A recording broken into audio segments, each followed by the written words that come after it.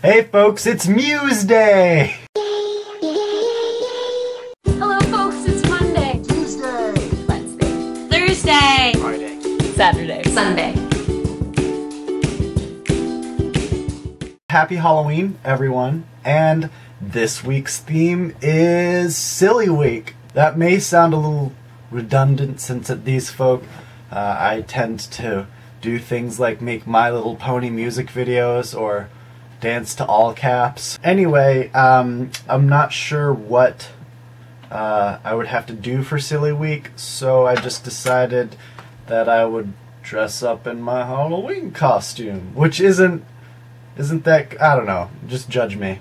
Any excuse to rep Hufflepuff. I got some kind of exciting news. I checked the mail today, and I think think these are my Quidditch World Cup tickets. So uh, let's check this out. I'm so I'm so excited. you have no idea. Oh man. There's my weekend pass and then my championship pass. So that's that.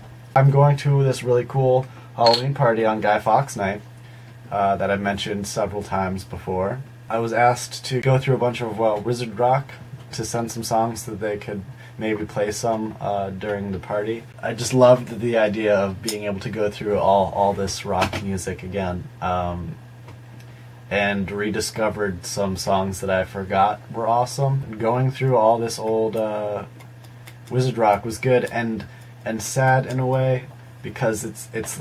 I know the Remus Lupins played their last show uh, at LeakyCon uh, this year, and the Draco and the Malfoys played their very last show ever at Rockstock this past weekend. Which is why I love the Quidditch World Cup so much because that's just kind of like in its birth right now.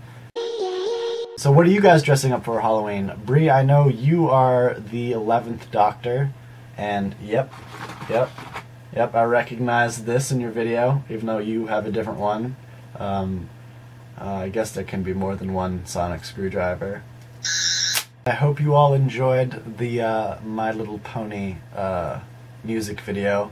It was it was a labor of love. I might just go out with a uh, rock song.